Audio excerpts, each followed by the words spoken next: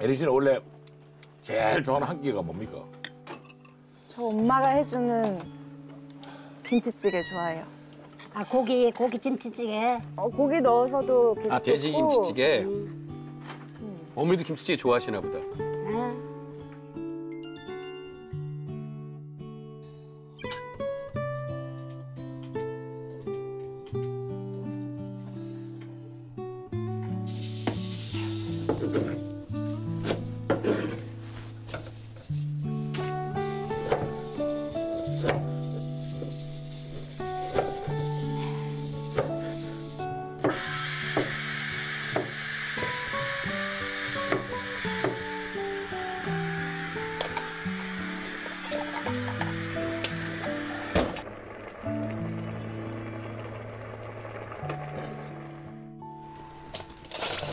이거 봐, 간 맞춰봐.